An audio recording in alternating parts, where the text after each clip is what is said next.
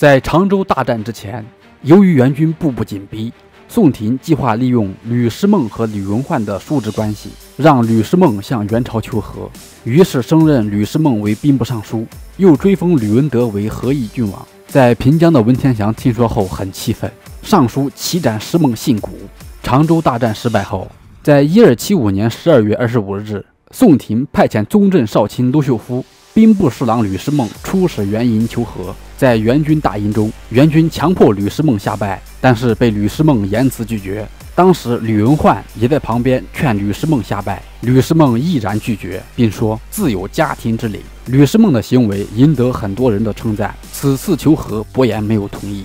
一二七五年十二月三十日，伯颜数十万大军离开平江，向临安进发。一二七六年正月初，伯颜的大军抵达嘉兴。加信投降，南宋朝中文官纷纷逃走。正月十八日，元军左、中、右三路大军会合临安城下。谢太后派遣大臣杨应奎向元军献上降表和传国玉玺。伯颜要求与宰相会谈。右丞相陈宜中当夜撤离临安，向温州方向撤退。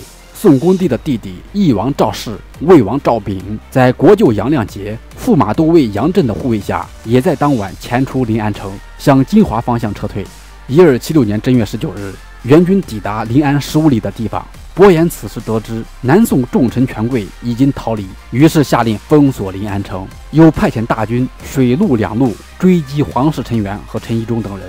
正月二十日，伯颜下令禁止援军士兵进入临安城，并派遣吕文焕带着皇榜。安抚临安城内外军民，又派遣一支慰问团入宫慰问皇太后。正月二十日，文天祥会见伯颜。文天祥对伯颜说：“宋朝继承的是帝王正统，你们是要和宋朝做盟国，还是要毁灭宋朝的社稷呢？”伯颜告知文天祥，元朝绝对不会毁灭宋朝的社稷。文天祥要求元军退到平江，再谈做盟国的事情。同时告知伯颜，浙江、福建、广南还在宋朝手里，兵力五十余万，鹿死谁手还未得知。文天祥抱着必死抵抗的决心，伯颜很生气，便将他扣留下来。文天祥很生气，强烈要求放他回去。伯颜劝说文天祥不要生气，和谈的事情还未谈妥，留下他是要仔细商讨。伯颜又命令万户忙务台、宣抚使缩都陪伴监视文天祥。正月二十六日，伯颜解散临安各司军队。愿意回乡的放他们回去，其余的分配到援军各部。二月，伯颜开始派遣军队，带着南宋文书去各地招降，同时派遣下跪的女婿带着南宋文书去招降两淮地区。二月五日，宋恭宗率领文武百官朝着元大都的方向下拜，举行正式的投降仪式。同时，伯颜命令左丞相吴坚、右丞相贾余庆、枢密使文天祥等五人组成齐秦使团，带着降表前往元大都请降。使团乘船于二月九日从临安出发。二月二十二日，此时已经八十岁高龄的下跪率领淮西各部投降元朝。此时淮东各地区还在抵抗，扬州在元军的围困下，此时已经断粮。李廷芝已经在崩溃的边缘。二月二十日，南宋谢太后下诏书，命令淮东制使李廷芝向元军投降。李廷芝在城上告知阿柱，只有奉诏守城，从来没听说过奉诏投降的。阿柱没有办法。只好撤退，返回瓜州。二月二十三日，阿柱命令吴坚、文天祥等五人的齐请团亲自写信劝说李廷芝投降。书信写好后，吴坚等四人都签名了，只有文天祥不肯签名。这五位骑行使团于二月二十四日抵达镇江。二月二十九日夜晚，文天祥趁机逃出援军大营，前往真州。当时有谣言说，文天祥前往真州是为了劝降真州守将。这个消息传到扬州李廷芝的耳朵里。于是李廷芝下公文，要求真州知州苗代成杀掉文天祥。苗代成不忍心，于是放走文天祥。文天祥经过水路、海路，经过三十多天的奔波，抵达温州。一二七六年三月十二日，宋恭帝带着宫女一百多人，官员数千人离开临安，北上前往大都投降。元军的都元帅吕世奎和副都元帅李恒攻打江西，硕果累累。截止到一二七六年三月，整个江西已经全部沦陷。一二七六年六月十四日，陈宜中、张世杰、卢秀夫、文天祥等人在福州拥立义王赵氏为宋主，这就是宋端宗。一二七六年十月，阿里海牙开始猛攻潭州，李福拼死守城，顽强坚守三个月。在当年除夕夜，元军攻破潭州，李福的参谋，也就是衡州知州尹谷，见大势已去。便叫他的弟弟逃走，保留尹氏一脉。随后尹谷面朝临安，全家老小四十余口全部自焚殉国。李福得知尹谷自尽的消息后，便举杯敬英雄。随后，李福叫来部下沈忠，让他杀掉自己和家人。沈忠杀掉李福一家老小，焚烧了李福的府宅。随后，沈忠回到家中，杀掉妻儿，跪地自刎。潭州就此陷落。此战，潭州大小将领官员与全家自杀殉国的不计其数。整座城池经过三个月的激战，城池损毁严重，人口所剩无几。城池攻破后，阿里海牙反对屠城，潭州仅剩的居民得以保存。潭州陷落后，整个湖南全部投降。阿里海牙随后率领大军前往广西。一二七六年七月，宋端宗下诏命令李廷芝到福州就职。李廷芝得到命令后，带领七千人开始突围南下。李廷芝无法突破元军的封锁。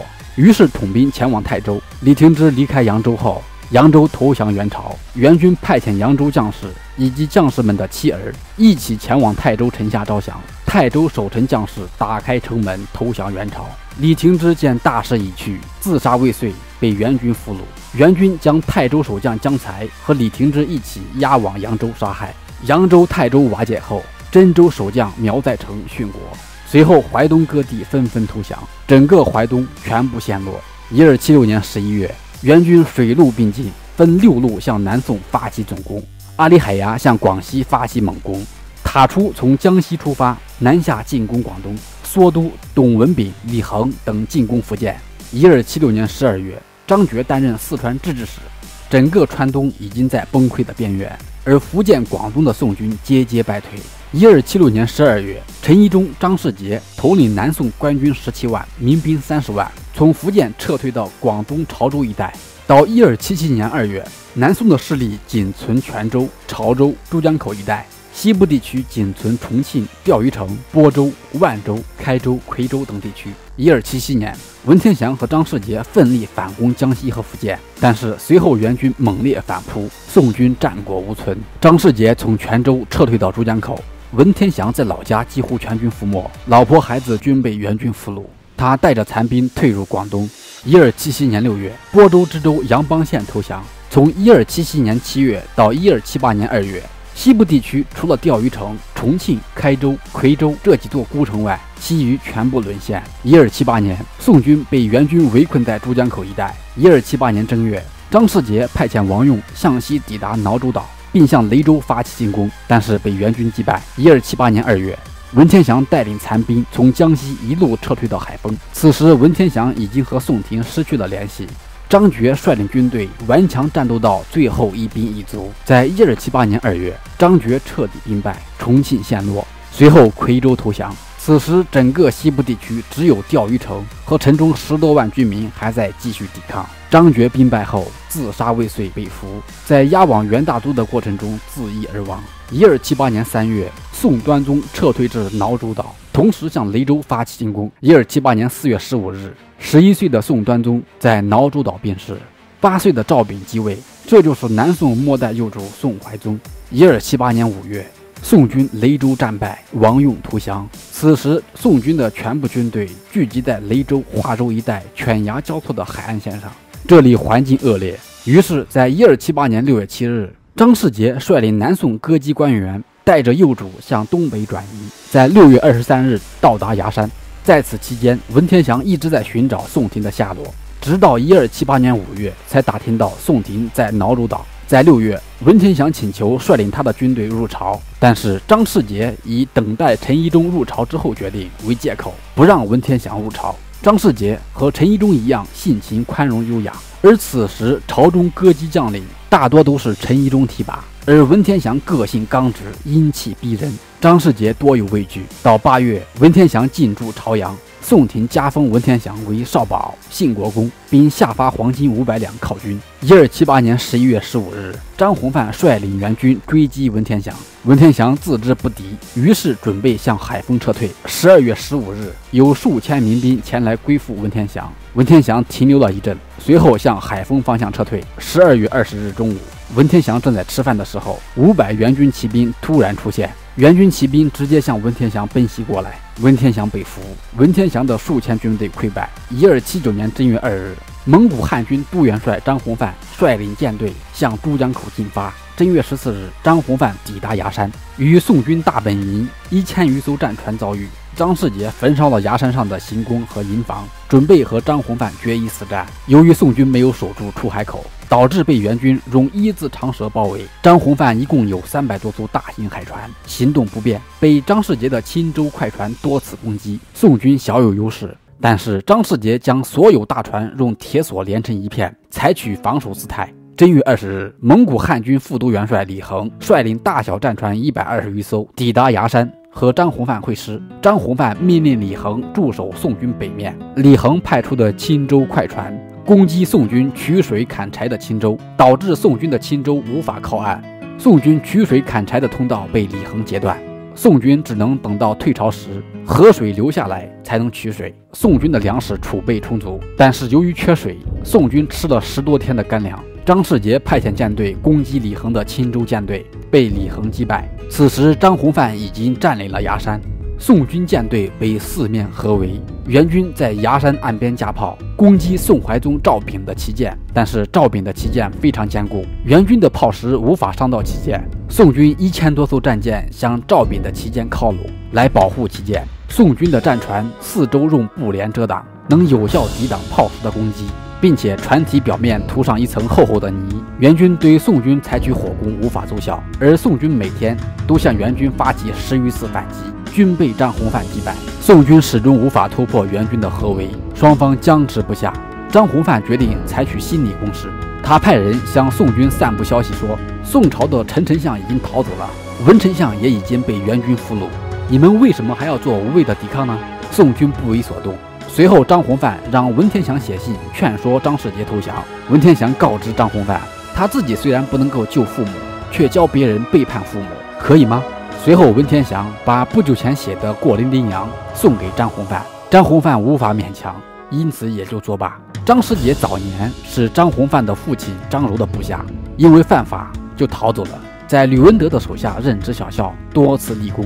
而此时，张世杰的外甥也在张弘范手下任职。于是，张弘范把他叫来，去劝说张世杰投降。张世杰不同意。随后，张弘范多次派遣使者前来劝降。张世杰每次都隆重接待了元朝使者，并且请求元军撤退，留下广东一路给宋朝，来供奉赵氏宗朝。南宋很多官员听说后都异常哀痛，但是张弘范并没有答应张世杰的请求。在二月六日早上，海水退潮，李恒率领舰队从北面顺流向南，对宋军发起猛攻。宋军西北角被李恒击溃。二月六日中午，张弘范趁着中午海水涨潮，顺流向北猛攻宋军。宋军接连损失多艘战舰。随后，李恒从北面也发起进攻，宋军腹背受敌。由于宋军战舰连成一片，行动不便，宋军舰队像一只巨大的困兽，被不断蚕食。双方激战一个下午。宋军战船上的旗杆一根接着一根倒下，兵败如山倒，海面上一片火海，呼声震天。宋朝的众多贵官侍女纷纷投海。张世杰请求带着宋怀宗、赵昺一起突围，由于宋怀宗旗舰太大，无法行动，并且陆秀夫并不认为张世杰能突围出去。为了避免被俘的耻辱，于是陆秀夫抱着九岁的宋朝最后一位皇帝跳入海中。众多大臣官员带着家眷纷纷投海自尽，而张世杰最终只有十余艘战船突出重围。此战，南宋的官员和军队丧失殆尽。二月七日，海上浮尸十余万，南宋就此灭亡。